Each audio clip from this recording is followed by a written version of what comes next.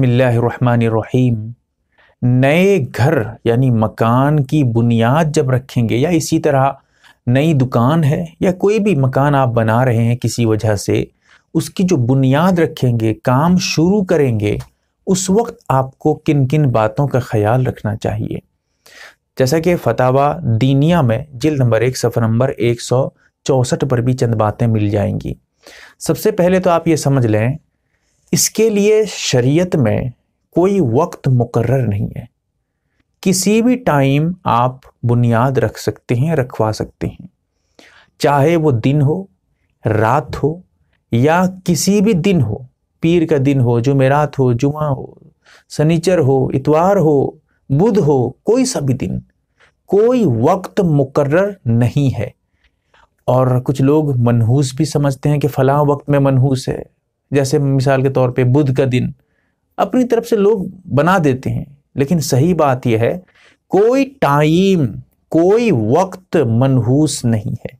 किसी भी वक्त आप बुनियाद रखवा सकते हैं। रही ये बात दुआ की। उस वक्त कौन सी दुआ पढ़ी जाएगी? हदीस में कोई दुआ इस बारे में साबित नहीं है कि घर की बुनियाद के वक्त, दुकान की बुनियाद के वक्त ये दुआ पढ़नी है। कोई दुआ नहीं है। लेकिन उसूली तौर पे अगर गौर करते हैं, चंद चीज़ों का समझ आता है हमें। जैसे, किसी बुज़ुर्ग हो, बड़े नेक, बख्त आदमी हो, उनके हाथ से बुनियाद रखवाना। पहली ईंट, पहला पत्थर जो आप रखें या फिर कुछ मसाले वगैरह पहली मरतबा डालें तो कोई बुज़ुर्ग आदमी हो, नेक आदमी हो, उनके हाथ से डालें। क्योंकि उन, उनसे कहें कि वो आके डलवा दें। क्योंकि इसमें एक बुज़ुर्ग होने की वजह से कुछ बरकत सी महसूस होती है, इसीलिए आप ये कर सकते हैं। वरना ये भी कोई ज़रूरी नहीं है, ये कोई सुन्नत और फ़र्ज़ वाजिब भी नहीं है। अगर कर लेंगे तो अच्छी बात है। दूसरी चीज़, दिनों में सबसे अच्छा दिन, सबसे अफजल दिन आपका जुमा का दिन है। तो जुमे के दिन आप बुनियाद रख सकते हैं, कोई हर्ज नहीं। ऐसे तो किसी भी दिन कर सकते हैं, जैसे मैं बता बता चुका हूँ आपको जुमा के दिन भी रख सकते हैं बुनियाद। अफजल दिन है। और इसी तरह वक्त में चाहे आप असर के बाद रखें या किसी भी वक्त आप अपने हिसाब से, जिस वक्त आपको मुनासिब लगे, टाइम आपके हिसाब से हो सके, सुबह का वक्त हो, कोई बात नहीं है। आमतौर पे मिस्त्री जो होते हैं, जो काम करने वाले होते हैं, मजदूर वगैरह होते हैं, वो सुबह से ही आते हैं तो सुबह से वक्त, सुबह के वक्त ये काम सारा होता है। कोई बात नहीं है, किसी भी वक्त कर सकते हैं। महीना, किसी भी महीने में कर सकते हैं, कोई हरज नहीं है। रमज़ान का महीना हो तो वो भी ठीक है, कोई हरज नहीं है।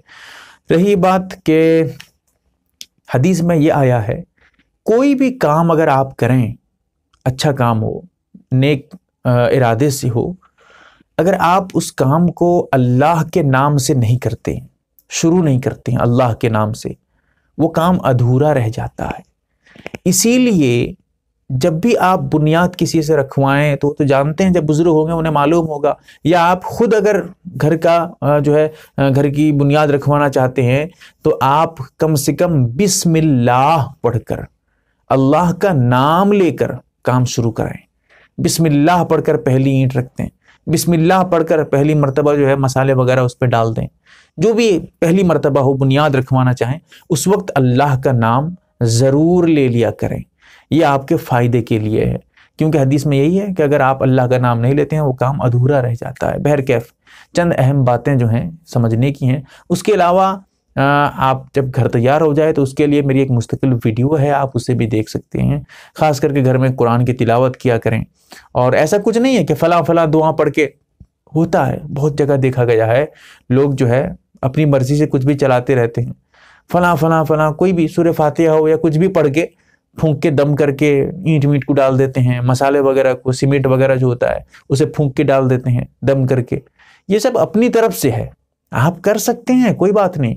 लेकिन साबित नहीं है। ऐसा कुछ कुरान और हदीस में कुछ नहीं है।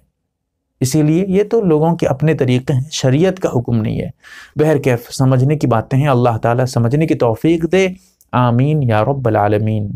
आप देख रहे हैं यम ए आर बी दीनी मालूम यूट्यूब चैनल। चैनल को सब्सक्राइब करें, वीडियो को लाइक और शेयर करें। फेसबुक ट्विटर इंस्टाग्राम और टेलीग्राम पर आप हमें फॉलो कर सकते हैं। हमारी वीडियोस आप अपने चैनल पर डाल सकते हैं। हमारी तरफ़ से इजाज़त है। हमारे साथ व्हाट्सएप पर जुड़ने के लिए आप अपने व्हाट्सएप से अपना नाम और फुल एड्रेस के साथ ऐड लिखकर हमारे व्हाट्सएप नंबर एट को मैसेज करें। और हमारा काम पसंद आए तो गूगल पे फ़ोन पे या बैंक अकाउंट के मदद कर सकते हैं।